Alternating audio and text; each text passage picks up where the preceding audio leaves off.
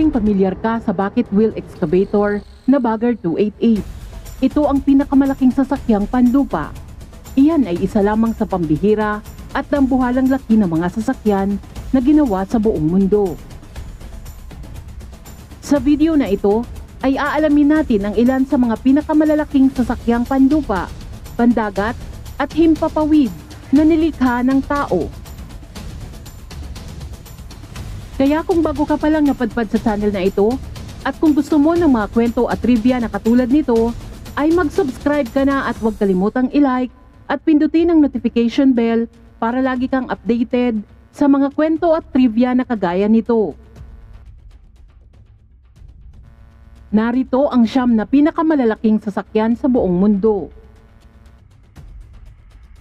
Number 1. NASA Crawler Transporter Noong 1965, nag-develop ang NASA ng dalawang crawler transporter upang magdala ng mga rocket sa kanilang mga launch pad.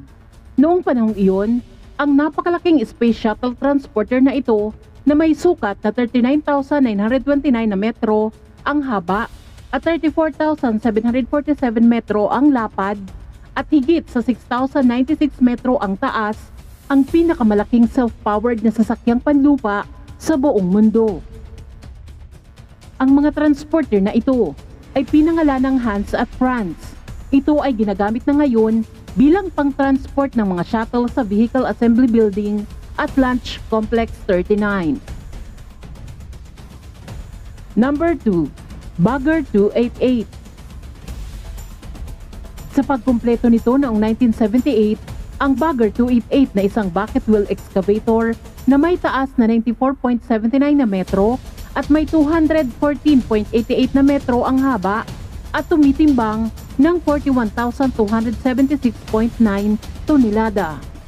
Superseded ang crawler transporter ng NASA bilang pinakamalaking sasakyang panlupa sa buong mundo. Hawak pa rin nito ang titulo hanggang ngayon. Ang napakalaking makinang ito ay ginagamit sa Hambach Strip Mine sa Germany at naguhukay ito ng hanggang 240,000 na toneladang karbon sa isang araw. Katumbas iyon ng sukat ng soccer field na 30.5 metro ang lalim. Number 3, Caterpillar 797B. Ang Caterpillar 797B ay ang second generation model sa 797 range ng mga mechanical powertrain haul truck ng Caterpillar na partikular na ginagamit para sa high production na pagmimina at heavy-duty construction application. Sumusunod sa mga yapak ng mammoth na sinundan nito. Ang modelong ito ay may kapasidad para mag-load ng 345 na tonelada. Ang Caterpillar 797B ay isa sa pinakamalaki sa buong mundo. Number 4. Bell AZ 75710 ang napakalaking ultrabus haul truck na ito ay 20.6 metro ang haba. Ito ay katumbas sa haba ng dalawang double-decker bus na nakaparada dulo sa dulo na may 8.16 metro ang taas at 9.87 metro ang lapad. Ito ay itinayo para sa isang kumpanya ng pagmimina sa Russia.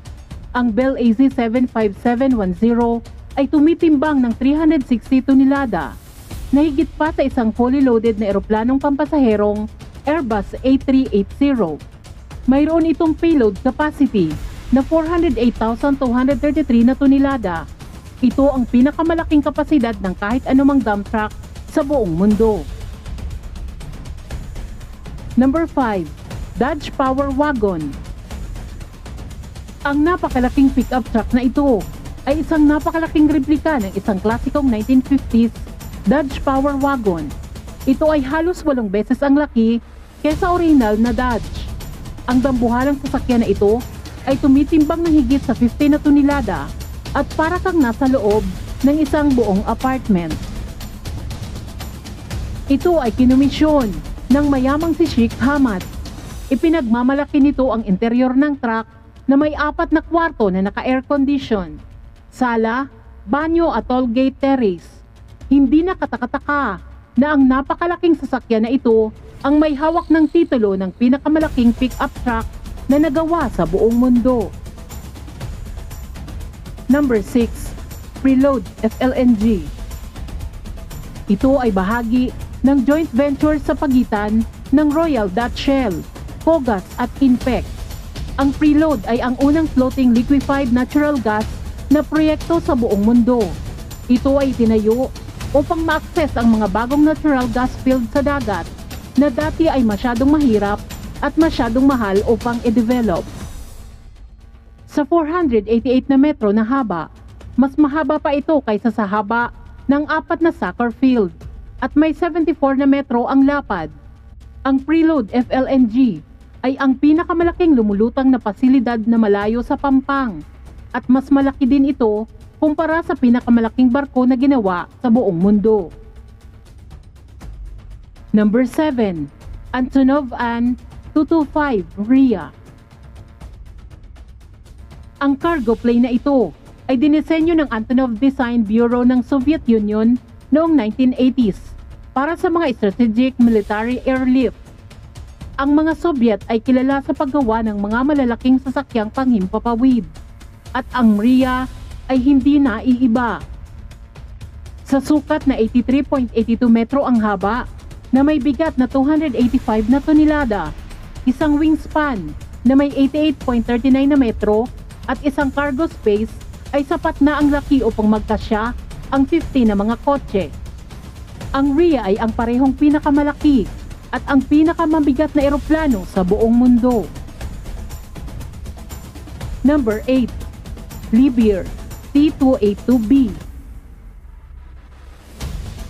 Ang Monsters of Halfway ultra-class na whole dump truck na ito ay ang pangunahing ginagamit sa mga operasyon ng pagmimina katulad ng ginto, karbon, tanso at bakal.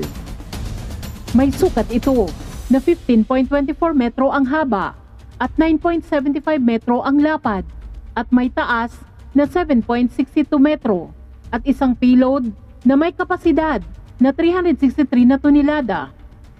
Ang Liebherr T282B ay ang pangunahing pinakamalaki ang kapasidad na dump truck sa buong mundo, kasunod ng Bill AZ 75710.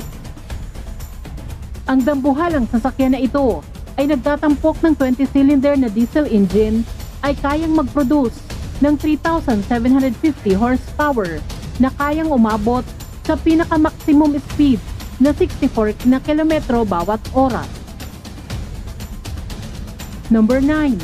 T-Rex slash Bucyrus RH400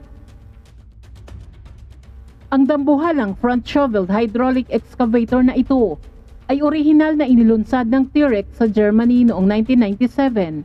Isang kumpanya na kalaunan ay nakuha ni Bucyrus noong 2010 at pagkatapos ay nakuha ni Caterpillar noong 2011.